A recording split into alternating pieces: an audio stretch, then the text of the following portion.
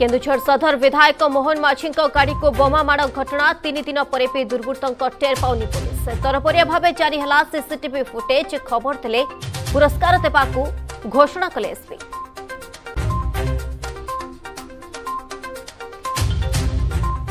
ପିଠେ ନବମୀ ମଣ୍ଡପରେ ଅଷ୍ଟମୀ କୋଭିଡ୍ କଟକଣା ଭିତରେ ଚାଲିଛି ପୂଜାର୍ଚ୍ଚନା ଆଜି ଆରତୀ ଚଣ୍ଡୀହୋମ ସହିତ ସନ୍ଧ୍ୟାରେ ହେବ ମାଙ୍କ ସନ୍ଧିପୂଜା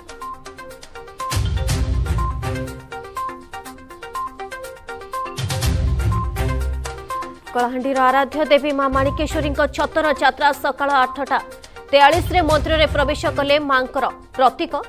କଟକଣା ଭିତରେ ଶେଷ ହେଲା ପାରମ୍ପରିକ ରୀତିନୀତି ଅପରାହ୍ନ ଚାରିଟା ଯାଏ ସହରରେ ଶହେ ଚୋରାଳିଶ ଧାରାଚାରି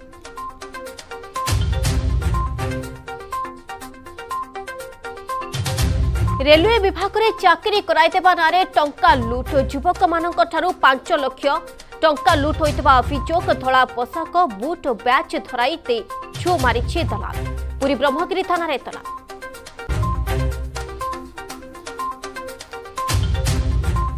ଗଞ୍ଜାମ ପାତ୍ରପୁର ବ୍ଲକରେ ବିପର୍ଯ୍ୟସ୍ତ ସ୍ୱାସ୍ଥ୍ୟ ସେବା ଗାଁକୁ ରାସ୍ତା ନଥିବାରୁ ଆସିପାରିଲାନି ଆମ୍ବୁଲାନ୍ସ ଦୋଳାରେ ତିନି ମିଟର ବୁହା ହେଲେ ଗର୍ଭବତୀ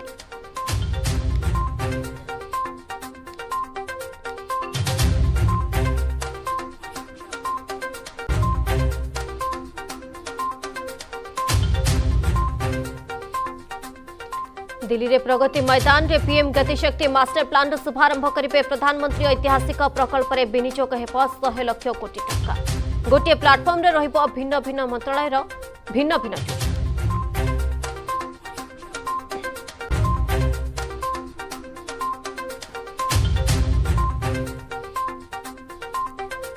ମହାମାରୀର ପ୍ରଭାବ କମୁଥିବା ବେଳେ ସୁଧୁରୁଛି ଦେଶର ଅର୍ଥବ୍ୟବସ୍ଥା ଆସନ୍ତା ବର୍ଷ ରେକର୍ଡ କରିବ ଦେଶର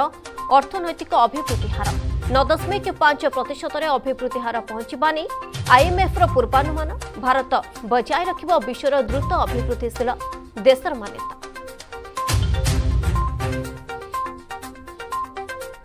ଏବଂ ଘନୀଭୂତ ହେଉଛି ଉତ୍ତର ଆଣ୍ଡାମାନ ସାଗରରେ ସୃଷ୍ଟି ଘୂର୍ଣ୍ଣିବଳୟ ଅଡ଼ଚାଳିଶ ଘଣ୍ଟାରେ ନେଇପାରେ ଲଘୁଚାପର ରୂପ ପନ୍ଦରରେ ଉପକୂଳ ଛୁଇଁବା ସମ୍ଭାବନା ଉଣେଇଶ ଜିଲ୍ଲାରେ ପ୍ରବଳ ବର୍ଷା ଆଶଙ୍କା ସେପଟେ ରାଜ୍ୟରୁ ଧୀରେ ଧୀରେ ପ୍ରତ୍ୟାବର୍ତ୍ତନ କରୁଛି ମୌସୁମୀ